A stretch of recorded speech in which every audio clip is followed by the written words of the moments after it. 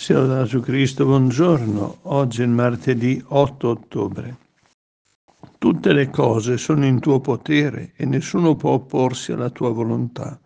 Tu hai fatto il cielo e la terra e tutte le meraviglie che si trovano sotto il firmamento. Tu sei il Signore di tutte le cose.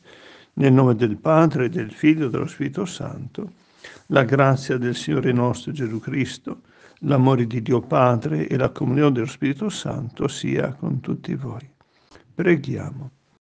Dio Onnipotente ed Eterno, che esaudissi le preghiere del tuo popolo oltre ogni desiderio e ogni merito, e fondi su di noi la tua misericordia. Perdona ciò che la coscienza teme e aggiungi ciò che la preghiera non osa sperare.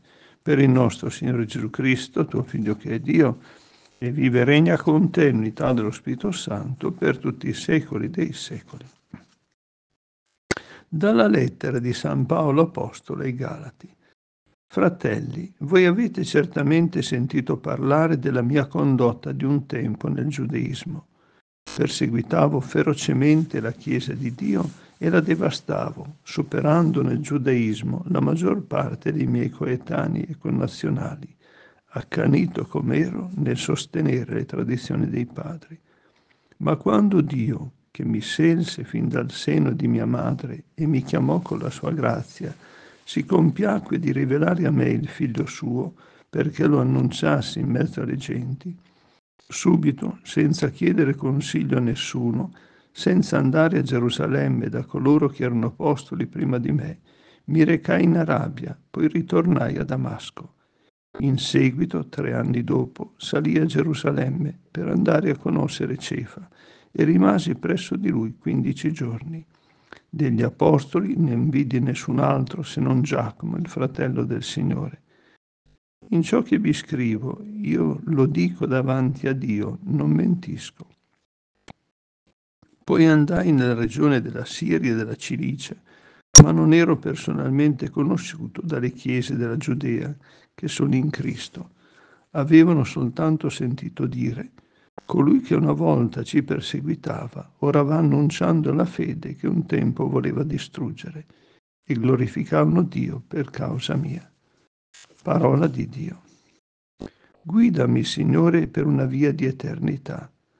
Signore, tu mi scruti e mi conosci, tu sai quando mi siedo e quando mi alzo.